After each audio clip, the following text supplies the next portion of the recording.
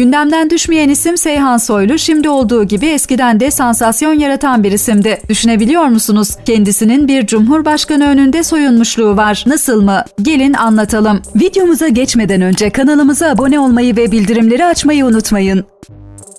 Seyhan Soylu biliyorsunuz kafa karıştırmak ve sansasyon yaratmak konusunda uzman birisi. Ne zaman ne söyleyeceği hiç belli olmuyor. En son geçtiğimiz gün Dilan Polat'ın eşi Engin Polat'la buluşmuş. Sonra Engin bana Paris'ten ev aldı. Bentley araba aldı vesaire gibi şeyler söylemişti. Sonrasında da bambaşka şeyler anlatarak kafamızı yaktı.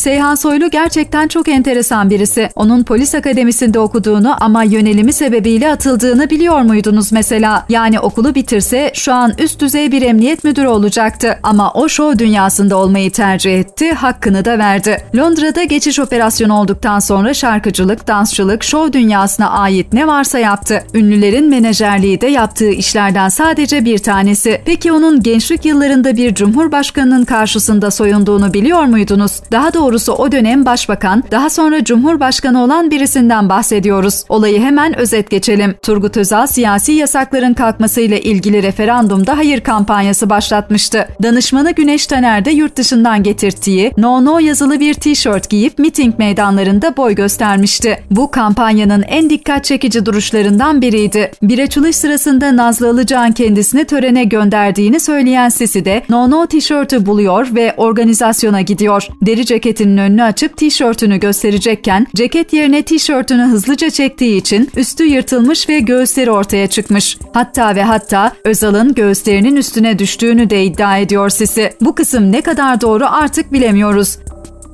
Bu olayın ardından apar topar tutuklanıp 15 gün hapis yatmış. Sisi o süreçte işkence gördüğünü söylüyor. Hatta bir de emniyet müdürü açıklaması var ki o da enteresan. Beni de öldüren emniyet müdürünü kendime aşık edip sonra da onu bir dergiye kapak yapıp görevinden aldırdım. Böylece o 15 günün intikamını aldım. Daha sonra rahmetli Turgut Özal'la da tanıştım. Yaptığımdan çok utandım. Çocuksu bir duyguymuş o protesto.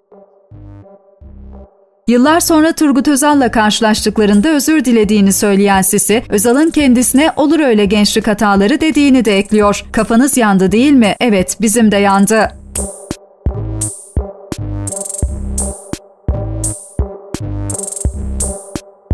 Bu videomuzun da burada sonuna geldik. İsterseniz diğer videolarımıza da göz atabilirsiniz. Başka videolarda görüşmek üzere, hoşçakalın.